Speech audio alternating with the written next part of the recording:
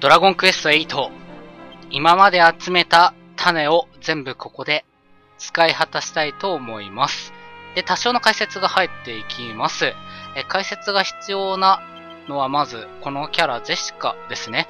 ジェシカのレベルが99の時点で、多分賢さが556、まあ、あるいはそのあたり周辺だと思うんですが、賢さって何だって話になってくるんですけど、賢さは、ある程度の数値までいくと、呪文の与えるダメージが増えるっていうえ意味合いがあります。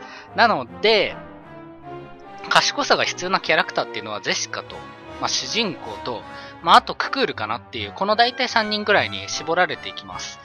で、えー、っと、メラゾーマなんですけど、ジェシカが覚えてるメラゾーマなんですけど、ここはちょっと調べた話になってきて申し訳ないんですが、最大賢さが580まで来ると、312まで与えるダメージが増えるんだそうですね。ほほうって感じだと思うんですけど、580まで上げる。で、マヒャドは570あると最高のダメージが与えられる可能性がある。とか、いろいろあるみたいですね。はい。では、580になるように賢さの種を与えてあげたいと思います。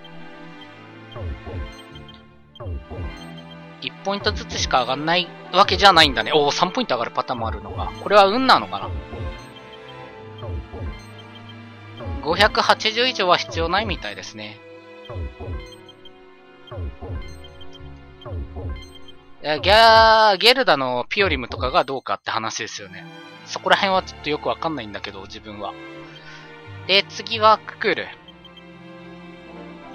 あ、そうか。ククール。オッケー。で、ククールは、えー、バギークロスのとこ見りゃいいのかな ?520 まであればいいのかな？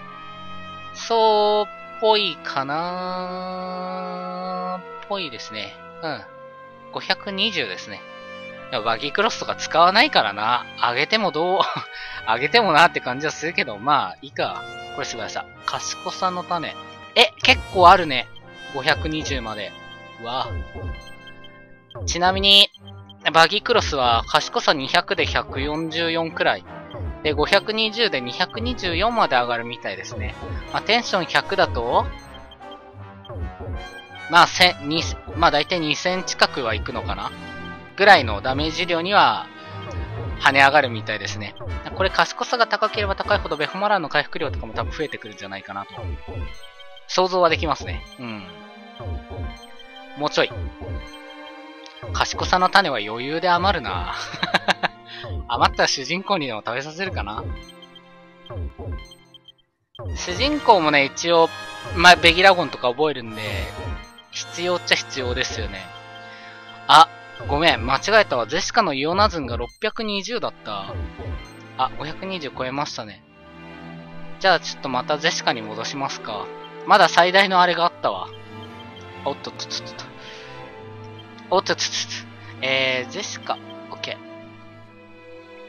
620? 結構かかりそうだな、これ。あ、でもそうでもないか。620まで上げると、224まで増加するみたいですね。だからまあだいたい2000ダメージくらいかな。テンションマックスまで上げれば。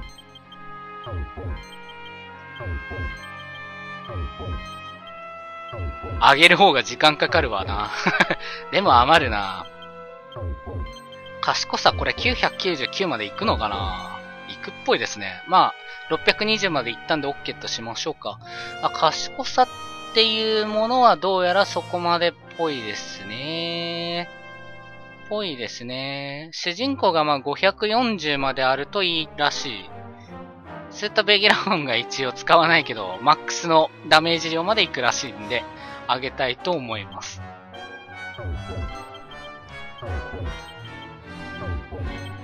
540か。結構だな。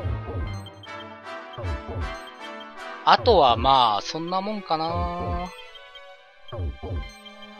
うん、天国の階段とかも、賢さがちょっと必要になってくるみたいですね。540だよね。もうちょいですね。ギガデインも440で。あー、ザラキーマとかにも関係があるみたいですね。賢さが高ければ高いほど。てか多分最大は500。高ければ高いほどなのかなちょっとわかんないな。詳しく書かれてないんだよな。賢さっていうのは難しい数値ですね、本当に。あー、回復系呪文は賢さが上がっても効果ないって書いてありますね。うん、うん、うん、うん。補助系は基本関係ないっぽい。ということはやっぱりダメージですね。ダメージ系の呪文。ビッグバンとかも含めては、どうやら賢さが関係してくるみたいですね。ただこの数値ですね。主人公は、540、ジェシカが620、ククールが520。ここまでいけば、与えられる呪文は最大ダメージまでは行く可能性があるみたいです。まあ、ただ呪文を使うかどうかっていうところは突っ込まないでください。普通に特技の方が強いだろうっていう突っ込みはなしでお願いします。はい。よし、じゃあ他のも行きますか。で、不思議な種なんですけど、今度はもう主人公ここまでいらないんで、今度はジェシカですね。ジェシカ上げる理由はマダンテがあるからです。マダンテは残ってる HP の2倍分のダメージを与えますから、えー、かなり不思議の種を与える必要のあるキャラクターだと言えるでしょう。え、999、まあ1000残ってるれば、その倍なんで2000ですね。テンション上がってたらもっといくんじゃない？相当いくよね、っていうかね。マダンテは炎系のダメージに属するみたいなんで、炎を減少させてくる敵とかには少し減少しちゃうんだけれども、まあ、それでも S タックとかにもいいダメージが入りますからね。今まで確認できてる中でテンション100で508なんで、まあ、約700から500ってことは、1400から、えー、っと、計算が難しいな。約3倍？約3倍か。じゃあ、レベル、あ MPMAX の状態から、えー、っと、MPMAX の状態から、テンション100でマダンって打ったとき、約6000のダメージを与えることができるのかな？マダンテで。もしそれ以上のダメージがあるのだとすればの話だけどね。5000、5000でストップ、ダメージストップしたんで、ドラゴンソウルは。まあ、マダンテ5008いったから上限はないと信じたいけど、まあ、この勢いでやっていけば、999はいきそうだね、ゼシカは。全然いくね、というか余るね、これはね。そしたら主人公に与えましょうか。与える方に時間がかかって とんでもねえ。他の与える、まあ、命の木の実はみんなに与えるのはいいじゃん？まあ、他は不思議な木の実与える必要はないから、もうこれでよくて、守りの種、命の木の実は絶対ゼシカ999にしたいんですよね。あとは、そうだな、須田屋さんの種あたりか。あと力の種も難しいとこなんだよね。これ動画2つに分けないとダメだな。あとちょい。OK、マックス。はい。じゃあ次はもうジェシカにそのまま命の木の実を与えましょう。え、スターク戦で、あジェシカ死ぬんだよね。運が悪いと。地獄の竜巻からのイオナズンで死ぬ可能性があるんで、レベル、えっ、ー、と、ヒットポイント999にすれば、耐えうる可能性がかなり上がると思うし、まだ防具もね、変更のやつあるんでね、メタルキングの盾とかつけたら、呪文軽減できるんで、さらに、楽になると思うんで、とにかくゼシカ強くします。ゼシカは絶対にパーティーから外れることはないんで、本当に強いから、この子は。優秀だからね。ザオリック、ピオリム、マダンテ。総流値、そして素早さが速い。